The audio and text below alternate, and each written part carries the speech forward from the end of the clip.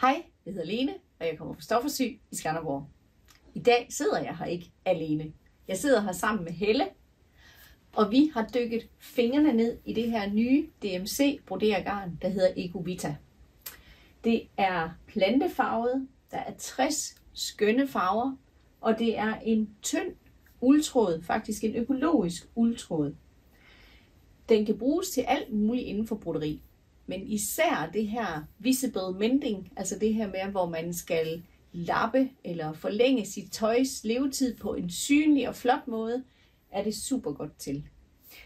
Der er lavet tre fine bøger med inspiration, både til sådan klassisk broderi-ting, men også en bog om det her med at finde ud af at lappe sit tøj på en flot måde. Masser af flot inspiration til det.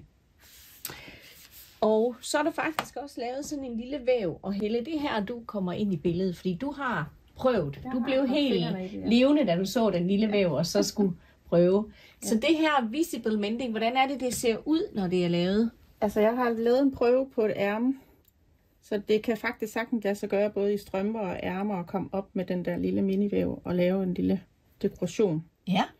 ja. Og hvordan ser det ud, når væven er i gang? Du har et projekt Ja. Jeg har sat op her. Efter videoen, så viser de faktisk, at man skal væve med dobbeltgarn. Jeg har prøvet her bare med, en enkelt tråd. Det kan også godt lade sig gøre, hvis Så- det er fint øh, Ja, strik. så lidt afhængig af, hvor tyk ens strik er, jamen så kan man variere, om man syr med dobbeltgarn eller enkeltgarn. Ja. Ja. Ja. Og så er den spændt op, og så hvad gør krogene her? Krogene her, det er faktisk lidt ligesom, hvis man havde tramper på en rigtig væv. Så man vender her, Ah, og så, så ligger den ene... Øh, så ligger den ene tråd, den ligger øverst. ah ja, så man kan, det der over, under, over, under, det Ja. bliver nemt, når man Ja. vender krogene. Altså, man skal sådan lige... Øh, Ja. Og det skal siges, at i, øh, i materialet, når man køber væven, der er der en QR-kode, som, hvor der er en super god instruktionsvideo, Ja. uden sprog på, så det er en tydelig video, man nemt kan forstå. Ja. Men for eksempel, så har jeg jo en af mine yndlingstrøjer, jeg lige fandt her. Mhm. Den er der simpelthen kommet hul i her.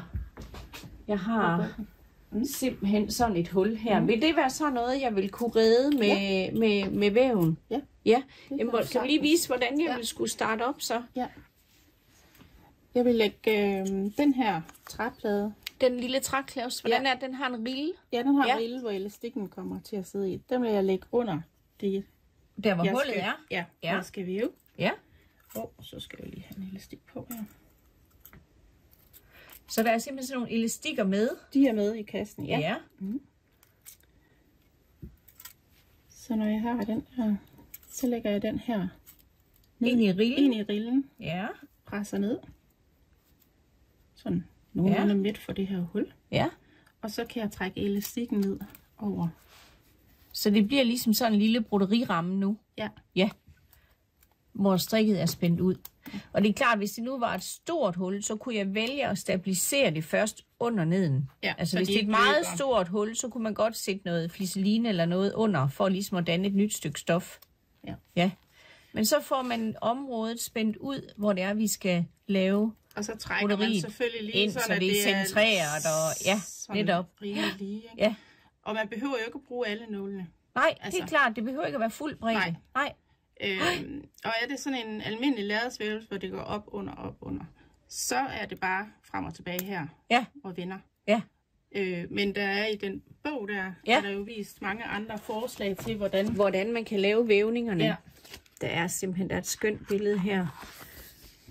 Så man kan simpelthen gå ind og lave, øh, jeg lige vil sige, skotstern og Ja. gingham og alle Ja. de der Ja. forskellige vævninger. Ja. Ja. Ja. Og der er man nødt til ligesom at få stilt øh, de her nåle lidt mere lige op. Ja. Fordi der skal man selv kunne køre op og ned. Og øh, finde rytmen ja. i dem. Mm. Ja. Mm. Så Så den nemmeste er lærredsvæv. ja. Herligt. Jamen, øh, super godt øh, initiativ, at man kan få repareret på sit tøj, så vi kan forlænge levetiden på det, vi har, og som vi er glade for. Og så samtidig er det jo bare skønt med broderi, hvis vi er ude i at skal brodere billeder og det hele, som holder hovedet beskæftiget, hænderne beskæftiget, og de elektroniske medier måske lidt på afstand. Selvfølgelig ikke, når I skal følge os på vores YouTube-kanal, det skal I huske. Rigtig god fornøjelse med broderi.